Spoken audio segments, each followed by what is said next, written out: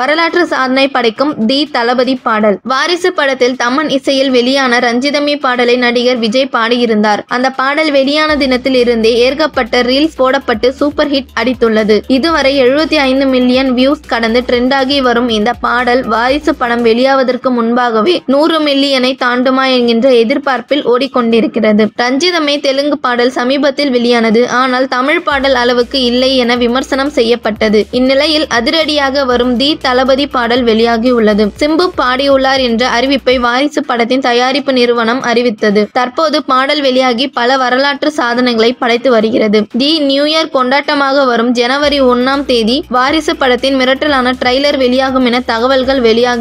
December இருபத்தி நான்காம் தேதி நடைபெற உள்ள ஆடியோ லான்ச்சிலேயே படத்தின் ட்ரெய்லரையும் வெளியிட்டு விடலாமா என விஜய் ரசிகர்கள் வெறித்தனமான கோரிக்கைகளை முன்வைத்து வருகின்றனர்